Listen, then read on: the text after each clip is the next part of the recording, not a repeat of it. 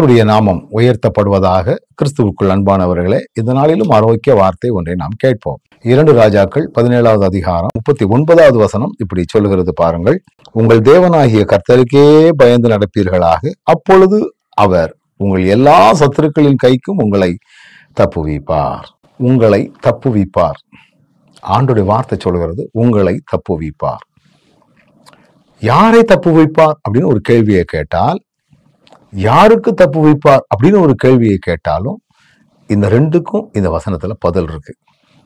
யாருக்கு தப்பு வைப்பார் அப்படின்னா உங்களுடைய எல்லா சத்துருக்களின் கைக்கும் அவர் தப்பு வைப்பார்.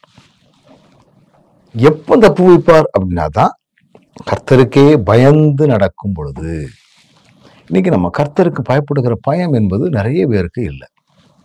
சாதாரணமாக ஒரு மனிதனுக்கு பயப்படக்கூடிய பயம் பள்ளிக்கூடத்து பிள்ளைகள் ஆசிரியர்களுக்கு பயப்படக்கூடிய பயம் ஆசிரியர்கள் தலைமை ஆசிரியருக்கு பயப்படக்கூடிய பயம் தலைமை ஆசிரியர் ஏஓக்கு பயப்படக்கூடிய பயம் ஏஓக்கள் டிஓக்கு பயப்படக்கூடிய பயம் போதகர்கள் பேராயருக்கு பயப்படக்கூடிய பயம் இப்படி தங்களுடைய உயர் அதிகாரிகளுக்கு தான் பயப்படுகிறார்களே ஒழிய கர்த்தருக்கு பயப்படுகிறது இல்லை.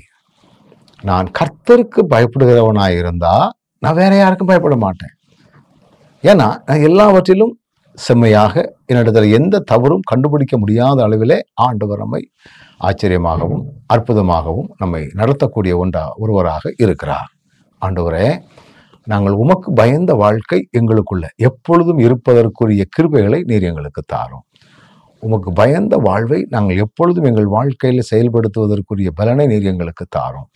உமக்கு பயந்து வாழ்கிறதினால் ஆண்டவரே எங்களுக்கு இப்படியெல்லாம் சத்துருக்களிலிருந்து நாங்கள் தப்புவிக்கப்படத்தக்கதான கிருபைகளை நீர் எங்களுக்கு தருகிறீர். உமக்கு பயப்படுகிறதினால் வேதம் சொல்லுகிற பிரகாரம் ஆண்டவர் நமக்கு நம்மை தப்புவிக்கிறார். அவராகவே நம்மை தப்புவிக்கிறார்.